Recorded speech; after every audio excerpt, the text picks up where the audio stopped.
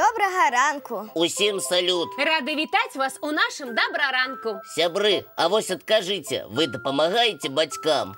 Абавязкова. У мяне ёсць свае хатнія абавязкі. І якія? Я гуляю з нашым сабакам. Здорово. А што у вас за сабака? Якой пароды? Як яго імя? Сапраўды, пазнаём нас са сваім гадаванцам Патап. З задавальненнем. У мяне лабрадор, яму 5 гадоў. Яго імя Юна, а ласкава мы яго называем Юняша. А любімая цацка у яго ёсць? Вядома ёсць. Ён вельмі любіць гуляць з мячыкам. Прыгожы сабачка, такі добры і вясёлы. Можам як-небудзь выгуліць яго разам. З задавальненнем. А яшчэ чым ты дапамагаеш бацькам Патап? Кармлю свайго гадаванца, магу памыць посуд, сачу за сваімі рэчамі. Ага.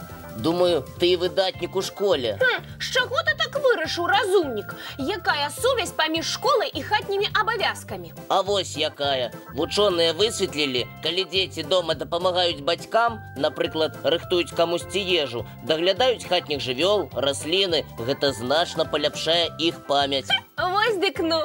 Таксама хатняя праца развівае навык спачатку падумаць, а потым зрабіць. А значыць, дзеткі, якія займаюцца хатнімі справамі, робяць большыя поспехі ў вучобе. Лесік, ты выдумляеш. І нічога я не выдумляю, просто дзялюся высновамі, якія зрабілі вучоныя. Ха, так, хлопчыкі, давайте дамовімся. З сённяшняга дня я пачну паліваць нашыя кветкі. Будзе мой абавязак. Дамовіліся?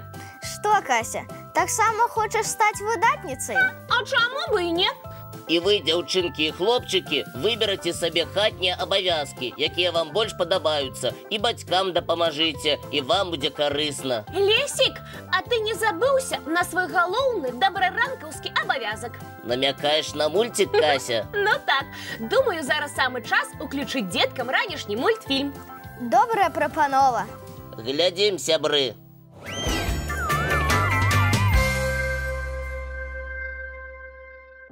Потап, а ты не хочаш навучыць свайго сабаку кіраваць аўтамабілем? Ён выглядае даволі кемлівым. Думаю, справіцца з такой задачай. Хм, сабака? За рулём? Лесік, ты жартуеш? А што? Гэта было б здорово. Мой гадаванец мяне б з раніцы ў школу падвозіў, пакуль я сам не магу ездзіць за рулём.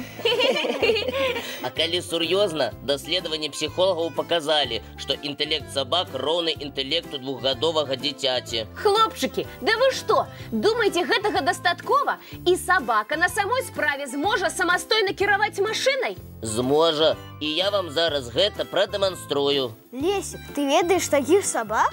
І зараз вас і іншых гледачоў з імі пазнаёмлю. І паездку пакажаш? Абавязкова. Хм, пакуль не ўбачу на ўласныя вочы, не паверу.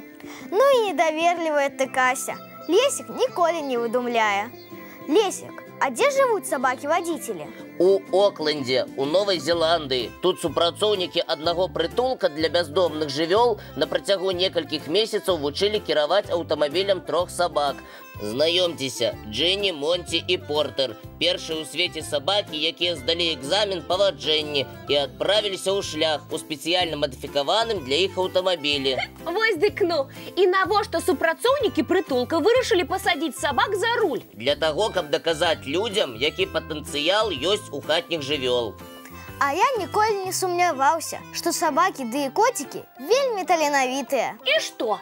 Жывёлы з першага дня вучыліся ездзіць за рулём? Не, усё адбывалася не так. Спачатку гадаванцаў доўга трэніравалі на спецыяльным трэнажоры і выкарыстоўвалі прыдуманыя для гэтага каманды. А хто займаўся з сабакамі? Хто прыдумаў такую методыку навучання? Прафесійная дрэсіроўшчыца, якая неаднойчы дагэтуль трэніравала жывёл для здымак у кіно. А, і яна з сабачкамі была ў машыне, дапамагала ім кіраваць? А вось і не. Гадаванцы за рулём спраўляліся без усялякай дапамогі. Відэакамеры, усталяваныя ў аўтамабілі на ім, зафіксавалі самастойнае кіраванне машыны сабакамі. Ого! Неверагодна! У сабачак за некалькі месяцаў атрымалася навучыцца кіраваць сапраўдным аўтамабілем. Ха! І я б з задавальненнем з такімі гадаванцамі пасябравала і нават запрасіла б у госці. Менавіта такая думка, Кася, прыйшла ў галаву не толькі табе. Відэа з сабакамі-вадзіцелямі размясцілі ў інтэрнэце і ў прытулак адразу пачалі паступаць званкі з просьбамі забраць якіх-небудзь бяздомных жывёл дадому. Цудоўна. Ідэя супрацоўнікаў прытулку спрацавала. Людзі зразумелі, якія сабакі разумныя і захацелі завесці сабе дома такога кемлівага гадаванца. Я таксама даўно мару пра сабачку хм, ці пра коціка. Але разумею, што мне пакуль не хапае адказнасці. Кася, ты малайчына. Калі ты сама разумееш, у чым твая праблема, з цягам часу абавязкова зможаш яе вырашыць. Мы ўсе крыху падрасцём, станем больш арганізаванымі і тады падумаем пра сапраўднага сабачку ў дабраранку. Дзякуй, хлопчыкі, што верыце ў мяне. Гуляць з сабакам, абдымаць яго такі прыемны занятак. Кася, а я ведаю яшчэ адзін занятак, які вельмі табе падабаецца. Думаю, і ўсім нашым гледачам таксама. Зразумеў Патап. Сябры, час паглядзець чарговы мультфільм, якраз пра хлопчыка, які таксама марыў пра сабаку. Ой, цудоўна! Лесік, уключай хутчэй.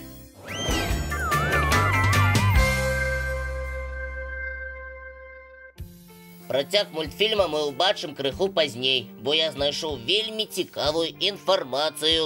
Спадзяюся, яна пра сабак. Хм, Мне здаецца, сёння ў нас атрымліваецца цудоўная раніца, прысвечаная гэтым гадаванцам. Сабакі сапраўды заслугоўваюць, каб пра іх гаварылі. Дык што ў цябе там за інфармацыя, Лесік? Ці ведаеце вы, як называлася самая старажытная парода сабак? Не, не ведаем. Расказвай, разумнік. Аднымі з самых старажытных лічацца сабакі пароды салюкі. Ой, якая назва цікавая. Салюкі. Ніколі такую не чула. Выявы сабак гэтай пароды археолагі знаходзілі па ўсім свеце. Узрост самых старажытных выяў тры з паловай тысячы гадоў да нашай эры. Ого, гэта так даўно, што нават складана ўявіць. М, А сабачкі такія сімпатычныя. Але гэтая парода падабалася людзям не толькі знешне. У старажытнасці салюкі дапамагалі паляваць на дробных жывёл. А які характар у гэтых сабачак? Яны вельмі добрыя і далікатныя, таму патрабуюць да сябе такога ж спакойнага і паважлівага стаўлення. Яшчэ салюкі добра ладзяць з дзецьмі і ўвогуле з павагай ставяцца да ўсіх членаў сям'і. Цудоўная характарыстыка. Але на незнаёмцаў салюкі могуць і залаяць, калі адчуць небяспеку для сваіх гаспадароў. Таму яны не толькі добрыя паляўнічыя, але і выдатныя вартаўнікі. Не сабака, а проста мара гаспадара. Салюкі сабакі вельмі актыўныя. Кожны дзень ім патрабуецца прабежка, каб падтрымліваць добрую фізічную форму. Побач з салюкі можна нават ехаць на веласіпедзе. Сабака будзе гэтаму вельмі рады, бо ён амаль нястомны. Значыцца, і гаспадарам салюкі нельга ленавацца. Трэба таксама падтрымліваць цудоўную фізічную форму. А яшчэ салюкі вельмі любяць мяккія мястэчкі. Таму дома утульненька уладкоўваюцца на канапе. Шчыра кажучы, ляжаць на канапе побач з сабачкам мне больш падабаецца, чым бегаць. Так што над выбарам пароды трэба яшчэ падумаць. Вось і падумай, Кася, час яшчэ ёсць. А зараз давайте працяг мульціка паглядзім. З задавальненнем!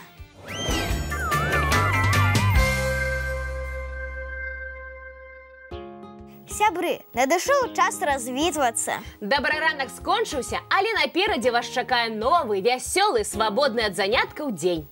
Абавязкова пагуляйце са сваімі хатнімі гадаванцамі, калі яны ў вас ёсць. Тым, у каго жывуць цудоўныя пухнатыя сябры, вельмі пашанцавала. Можаце навучыць сваіх жывёл новым трукам. У інтэрнэце такіх шмат, можна знайсці нескладаны. А яшчэ абавязкова зрабіце шмат вясёлых сумесных фота. Вакол жа такая прыгажосць, лета. А зараз засталося толькі дамовіцца пра наступную сустрэчу. Яна адбудзецца, як заўсёды зранку. У нашым добраранку! Будзе весела і пазнавальна, абяцаю!